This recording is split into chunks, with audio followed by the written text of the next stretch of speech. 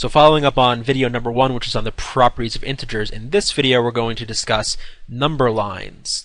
What you can do is if you don't want to write out lists of numbers, you can represent essentially the whole scale of integers, but also actually non-integers uh, on what's called a number line. And a number line generally looks like this. It's a line that extends in both directions, and on it are tick marks representing essentially the numbers that you are uh, on the number line, whether they're integers or non-integers, it, it doesn't matter.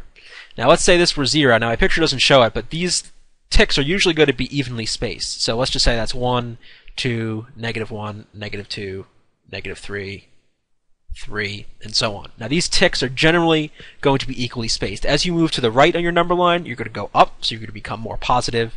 As you go to the left, you're going to go down, and you're going to become uh, more negative.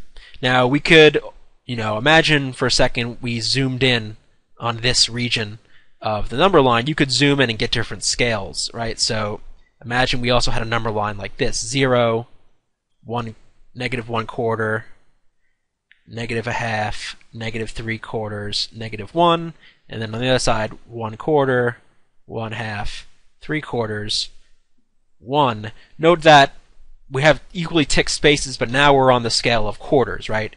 And you can imagine this could go as big or as small as you want, right? You could have a number line with scales of 10, 20, and 30.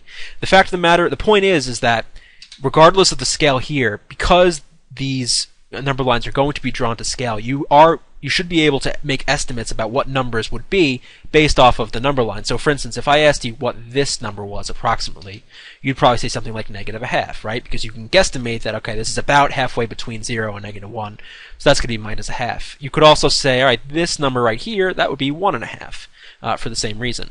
What about this number right here? Well, it would be a number between 0 and a quarter, so halfway between that, that would be one eighth, and so on. So the key with these number lines is the ability to estimate what unknown numbers would be based off of these ticks and these spaces. Now, where this will come into hand in handy for the actual SAT, they can ask you a bunch of different questions on this topic, but they might say something like, you know, what is the value of x?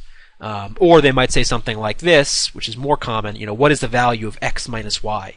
Which would require you to figure out what x is, plug it in, figure out what y is, put it in, and then do the subtraction. Sometimes you'll see something even nastier. You'll see like, what is the value of absolute value of x minus the absolute value of y, which means you got to take these numbers, put them in to the x and y, absolute value ties them, and then subtract them. So you can get any range of different kinds of problems here.